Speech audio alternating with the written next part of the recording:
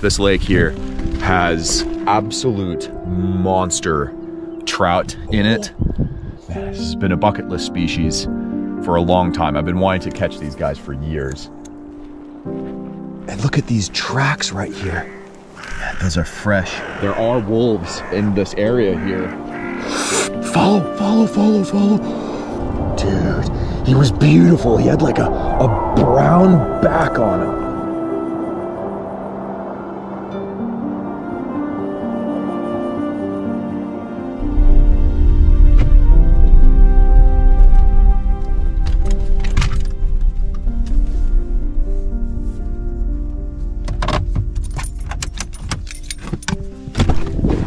Guys, welcome back to another episode. I am up at the Mountain Fishing Farm, and we are heading to a lake today to try and catch a trout species that I've never caught before. They're a giant trout. I'm not gonna say right now what they are. I'm just getting ready. I've got the fishing uh, bag already loaded up in the truck. Uh, we just gotta grab a couple of bullet lures that we're gonna take up there. And I've been really busy at the mountain farm, guys. Check this out. In my little uh, shed, I've turned this into like a shop. I built this workbench uh, back here specifically right here. This is a station to make some bullet lures. Uh, that's right. Uh, I'm gonna try and gear up for making a bunch of bullet lures. A lot of you guys have been asking about bullet lures, so I'm gonna try and crank out uh, some NWFS care packages for you guys. So stay tuned on Instagram is where I'm gonna notify you guys uh, when those guys are ready. But right here, this is how one of those bullet lures starts. Just a little brass case, the bullet, then I use this machine right here. It's called a, oh, it's not mounted yet. it's called a press, a reloading press. And that's where I uh, put those guys together and uh, then get what looks like a bullet right there. And then we've got some little pieces and some tools, super simple. And uh, got these little guys here. Now the lake that we're going to is gonna require that we fish barbless. So I'm just gonna pinch the barbs on the hooks of the bullet lures. There we go. Let's go ahead and get those bullet lures uh, loaded up. Uh, it's already kind of late in the day, so we gotta get going. I had to feed the goats. Chickens are taken care of. Bullet lures in the tackle box. Boom. All right, ready to go to the lake. Hopefully we catch uh, a big old trout because I want to do a catch and cook with you guys because I haven't eaten anything yet today. I'm really hungry. Ooh, check out that IBC tote right there. Got that baby for free. It was on the side of the road. Man, maybe we can make like a little fish farm in that or something. I've seen people do like aquaponics or like having little tilapia farms inside an IBC tote. We could maybe do that with some trout. Do like a trout farm. That would be sick.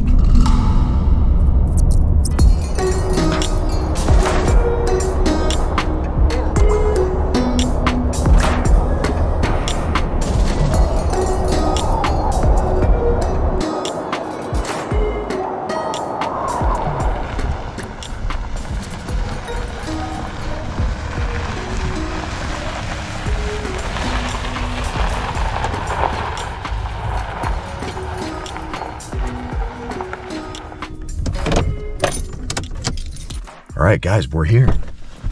This place is absolutely beautiful. Just look at the massive cliffs covered in pine trees. And then right here in front of us, a crystal clear, giant mountain lake. What you can see here is actually only a small cove. The lake continues out there for miles and miles. And this is actually like really close to the mountain fishing farm. I've never fished here though before. We've just been so busy up in the mountain lakes, uh, which now unfortunately are starting to snow in. So I figured why not come here and fish some places close to home. Guys, I'm a little nervous. This lake here has uh, absolute monster uh, trout in it. Man, this has been a bucket list species for a long time. I've been wanting to catch these guys for years. And uh, here we are. Man, it is freezing cold. Though we gotta put on a coat, boys and girls. Oh, oh yes. Oh, Ooh, so much better. Everything's just starting to freeze at the farm. Uh, I built uh, a pump that I sucked a lot of the water out of my irrigation uh, with, but I still need to go and rent like a large compressor to actually blow out uh, my pipes completely just so I don't get any frost damage uh, on the irrigation. So it's just, I've been busy with so many things around the farm, guys. It's not even funny. Just if if you want to have a life, don't buy a farm unless you want that to be your life. That's that's a life lesson for you. there we go. Got to put out uh, my tribal uh, permit. This here is actually on Native American land, so I needed to get a special fishing permit to fish uh, this place right here. It's essentially like a giant nature uh, preserve. There's no roads through most of it, no houses. It's honestly really beautiful.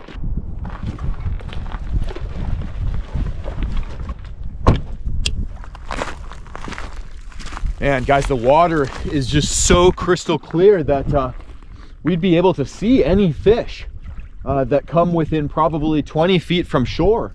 That's amazing. I can look way into the water. Actually thinking we do is uh, let's just get a bullet lure rod ready right away because we should be fishing all of this. I want to work my way uh, out there to some cliffs uh, where the water should be a little bit deeper, but you never know. Sometimes trout come into the shallows, like in the last video up at the mountain lake with the brook trout uh, spawning this time of year. I don't know if this species here spawns right now too, or if they come into the, the shallows like that. Now I've got a bobber rod with me as well, but uh, we can't use bait uh, in this lake here. So maybe we could try and fish a fly uh, under the bobber. Hmm, we could try that, but let's try the bullet lure first. These little uh, Velcro uh, wraps are amazing for keeping your, your rod tips kind of organized uh, while you're transporting them around.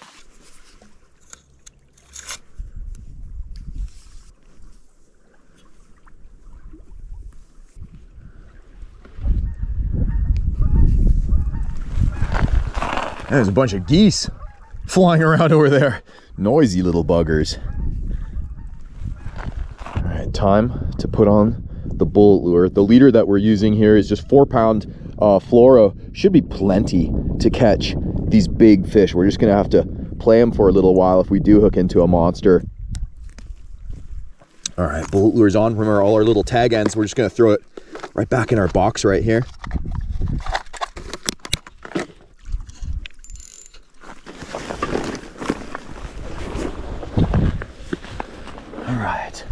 Let's just, mean, why not just do a couple of casts right here? I mean, it just, it, it already looks juicy, guys. Okay, here we go. First cast with the bullet lure. Oh yeah, good. A little bit of a breeze, little, little tough to cast against the wind, but that's okay. We're gonna start with kind of a faster retrieve. There we go, nothing on the first bite, that's all right.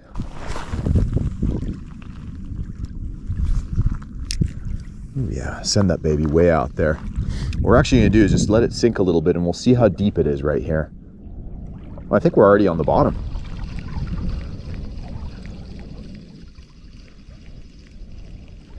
Oh man, he's just spinning it around. So happy in the water there.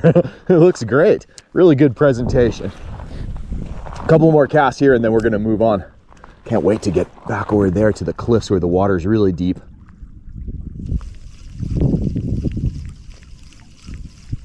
Oh, oh, was that a bite? Guys, we might have just had a bite. Did we just bump into something? That was very mysterious. Not seeing anything on the lure, so we might have had a bite. Let's cast back there again.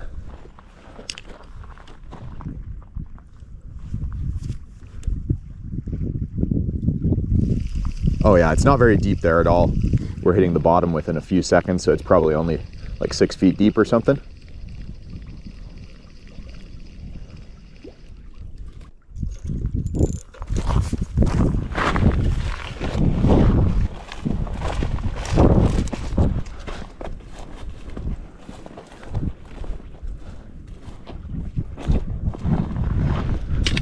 How about we give it a try right here?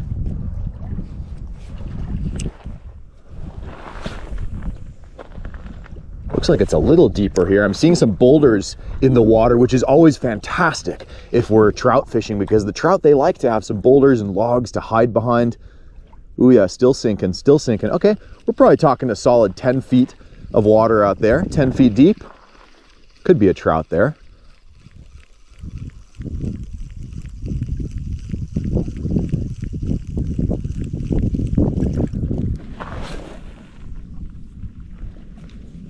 Oh, duck right by the, the lure where I cast. Sorry, buddy, I almost hit him.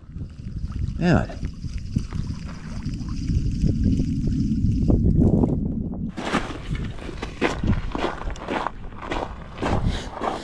All right, still no bites. That's all right. That's all right, guys. We're just starting. Unfortunately, it's already kind of late in the day.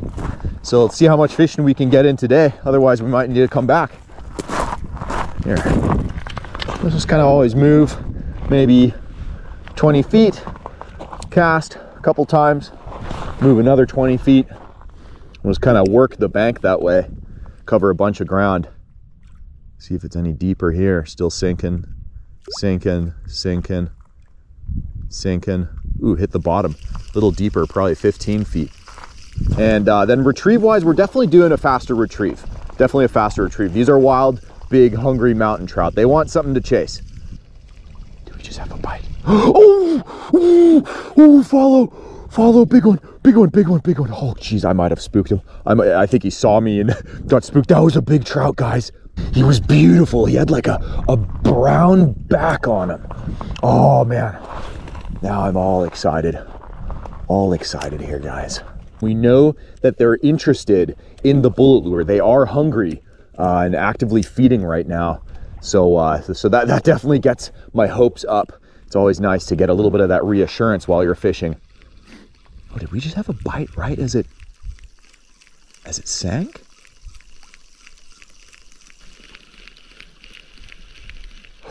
Follow, follow, follow, follow. guys, guys, big one, big one. It might be the same fish. It might be the same fish. Maybe he knows what's up. Maybe he knows what's up. Just because we could also try one slow retrieve and see if that makes a difference. Maybe it's a little fast for him. It's definitely got him interested. Let's go ahead and try and see what happens if we just go real slow.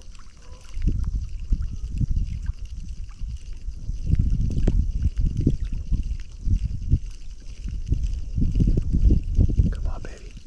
Come on. Oh, nope, no, just a reflection. No follow on that one. All right, last cast in this spot, and then we're gonna move on again. We could try is just maybe jigging the bullet lure a little bit down there by the bottom. See if maybe that gets him excited. I think that trout there, he kind of, he knows what's up. He's like, yeah, I've seen that lure a couple of times and uh, you don't trust it no more. Oh man, Look at that. Got us a trophy catch right there. that little guy doesn't belong out here. There we go. Man, guys, that trout, I mean, he had to be about, he was, you know, now, I, I, total honesty, probably about somewhere between here. That's a good size fish. The limit at this lake here, I think, is three trout um, and we're allowed to have one over 18 inches. So, um, yeah, well, I'd be happy with one. I'd be happy with one fish at all. All right, let's go ahead and do another couple casts.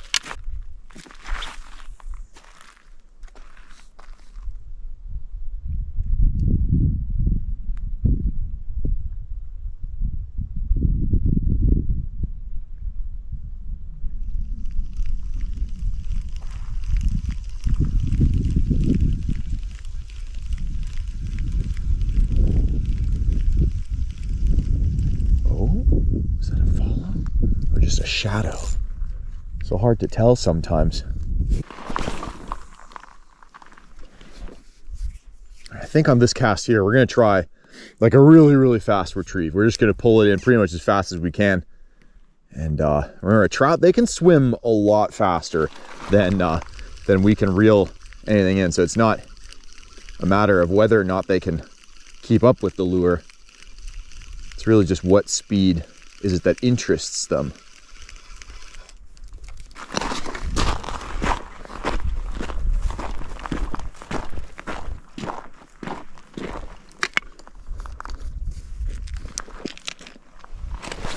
This spot here is a really steep drop off, it seems.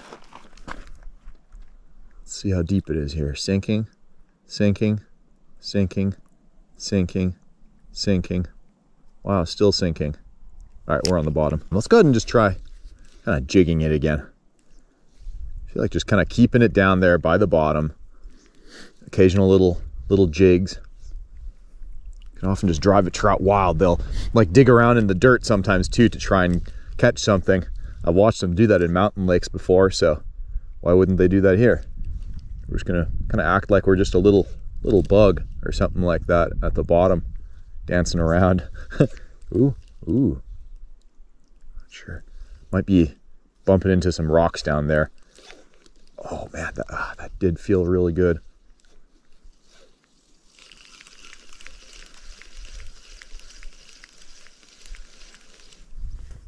Oh, there's there's a trout right there. Trout right Right in front of us. He liked the jig action. Let's just drop it right there. He was right there, guys. Big one, big one, big one.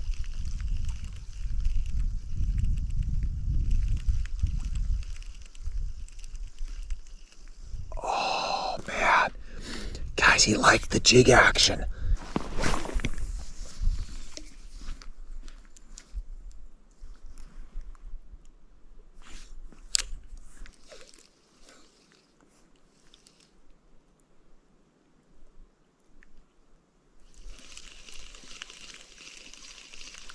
What I'm just doing here is I'm keeping that rod tip nice and low. Uh, that way we're pulling the lure at a shallower angle. Oh, there's the fish on, baby. And we kept it down at the bottom. Oh my God, giant, giant trout. Giant trout. Oh my goodness. Oh, he's beautiful and red. Look at the color of that fish. Oh my goodness, net, net, net man, the water's super, super cold. So this guy here, he's got energy. He's got energy. But, uh, oh my goodness, get over here, baby. You know, no, he's he's not done yet. I was just gonna say he's, he's a little, uh, oh, there he goes. He's pulling some drag. Uh, that it's cold and he's kind of, you know, a little lame or something, but.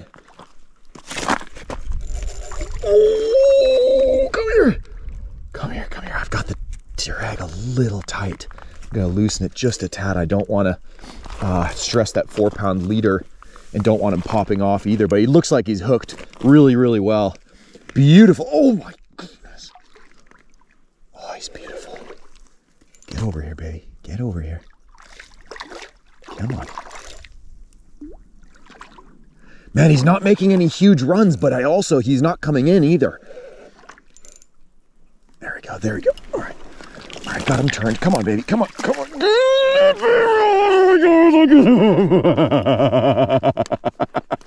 He's a monster. He barely fits into the net. That is a beautiful, beautiful trout. Oh, bullet lure already spit out. Oh man, look at this fish, guys. What this is, is a Lahontan cutthroat trout. I've never caught one of these guys before. They get absolutely giant. This is my very first Lahontan cutthroat, baby. He's absolutely beautiful.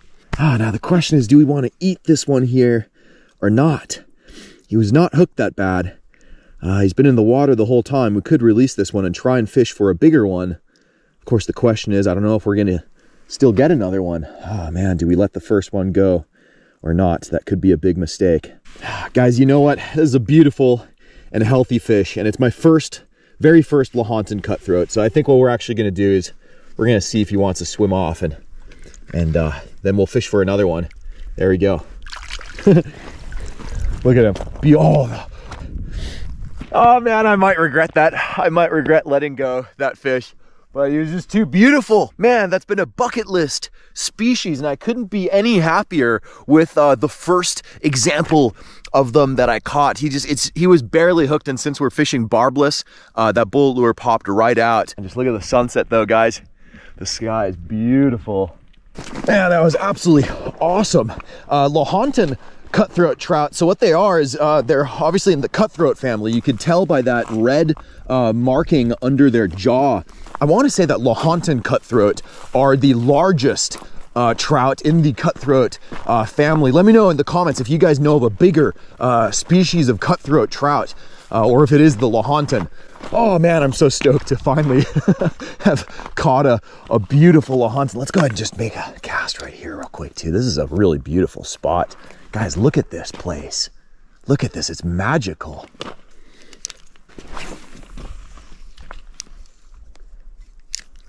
So, and he just took it on a fast retrieve. But what we just did do is uh, kept that rod tip really close to the water. That will let us fish uh, that lure a little lower in the water column. If we have our rod tip up here, we're just gonna pull it up to the surface too fast. So you can actually see uh, the lure in the water. Like when I pulled up, the lure was swimming up, but if you put the rod tip down, then the lure kind of sinks a little bit more.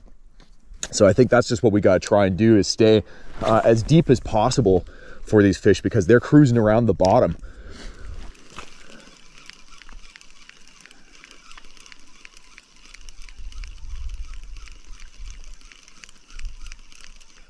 Oh, no way. No way. Fish on, baby. Fish on. We got another one.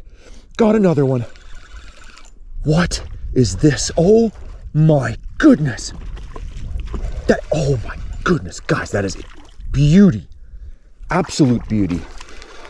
Is there a, I think there's a second trout following it. There's a second one. He just, he knows that something's up there. He thinks there's food. oh, this one's a little smaller, little smaller. It's a feisty one. That's a feisty one. Come here, baby. Come here. Come here.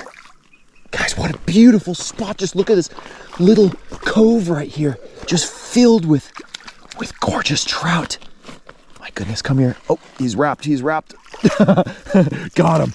Got him. It's a little spunky one. Look at that. Just couldn't resist the bullet lure. Guys, I mean, this is just literally two casts later. Two casts later, and there he is. Another beautiful. Uh, this one looks like a female uh, Lahontan cutthroat trout. It's actually a smaller one. This here is a good eater size. What I'll probably do actually is uh, take this one here back to the mountain farm. Uh, I don't have any fish right now in the freezer. Or the big Lahontans in this lake, we're only allowed to keep one per day. That's why I didn't want to keep uh, that big one because if we're going to keep a big one and limit out on that one, I want it to be a monster. This one right here though, that's a beautiful eater size. So we're going to go ahead and keep this fish. There we go. Just put uh, that one right to sleep. And uh, let me just show you real quick what I mean by that cutthroat marking. See right there? Down by the throat, that red uh, marking right there. They have it on both sides. Um, that right there is how you can tell that it's a cutthroat. Beautiful silver fish. Look at that. This is going to make a wonderful, wonderful meal. I'm going to keep fishing to hopefully catch an absolute giant. Guys, it doesn't get any better than this in terms of scenery while you're fishing. Look at that, the, the sky is starting to turn like purple, pink and purple, and it's reflecting off the water. The colors right now are crazy. And they're taking it on a pretty fast retrieve. Uh, it's getting really late. The sun pretty much is setting, so maybe it's also triggering something in the fish, making him bite right now.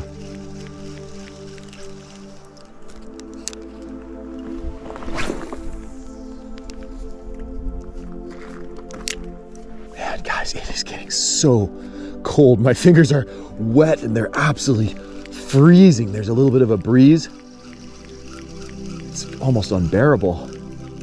I need to bring gloves next time.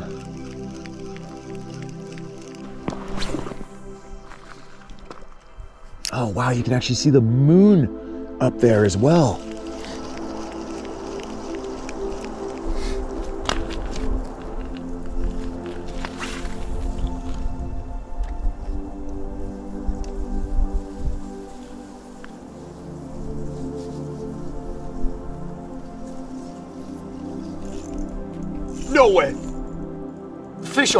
The drop. On the drop, baby. That's a, oh, look at those head shakes. Look at those head shakes. That's a big one. Oh my goodness. Come here, baby. Oh, he's making a run at us. Making a run at us. Sneaky, sneaky tactic.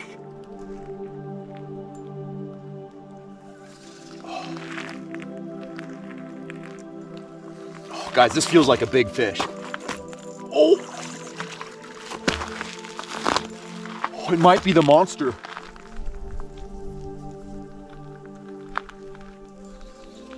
Oh. Oh, he's huge. He's huge.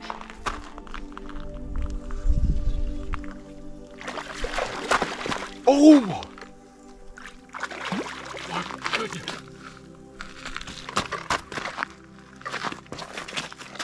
Oh, he's beautiful.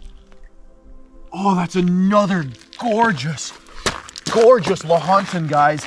Absolutely gorgeous. It's not, it's still not the monster that we're after, but uh, let me show you this fish here real quick.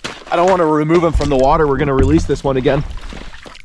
Look at the size of that fish. Let's just get that uh, bullet lure out of there real quick. Wet our hand real quick before uh, handling this fish here. Look at this monster. Oh no. Come on, come on. There we go. Bullet lure popped right out. and off he goes. Just look at the sky and the sunset. You can see the moon right there. Guys, I can't believe how good the fishing is right here. And, and, and that I've never fished here before. Why have I not fished at this lake before? This is like right by my house, filled with monsters, absolute monsters. He might have been even an inch longer than the first one, but it's not the monster we're after. We've still got a lot of shoreline to explore, but we're gonna have to do that tomorrow morning, guys. It's getting dark and uh, we're not allowed to fish uh, here past sunset. And I'd say we are uh, pretty much right at sunset right now.